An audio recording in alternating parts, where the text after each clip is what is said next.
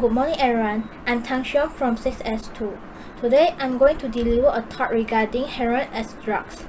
Heroin is a very addictive drug made from morphine, a psychoactive substance taken from the seed pod of various opium poppy plants grown in Mexico, Colombia, Southeast and Southwest Asia.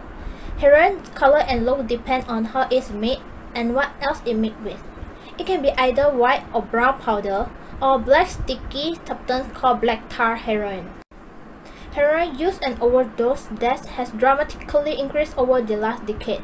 This is because many people start using heroin to deal with anxieties, worries, and overcome mental health issues such as depression, ADHD, or bipolar disorder. Heroin can be mixed with water and injected with a needle.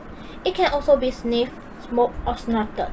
People who use heroin sometimes will use it with other drugs such as alcohol or cocaine, which can be particularly dangerous and raise the risk of overdose. Short-term effects of heroin include a rush of good feeling and clouded thinking. This effect can last for a few hours, and during this time, people will feel drowsy and their heart rate and breathing rate will slow down. When the drug wears off, People experience a depressed mood and often crave for the drugs to regain the good feelings. People who use heroin over the long term may develop some side effects such as insomnia, liver and kidney disease, lung complications including pneumonia and mental disorders such as depression and antisocial personality disorder. Studies also show that a heroin overdose may affect decision making, behavior control, and responses to stressful situations.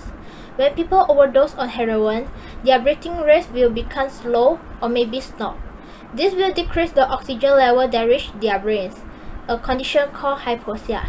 Hypoxia can have a short and long-term effect on the nervous system, including coma and permanent brain damage.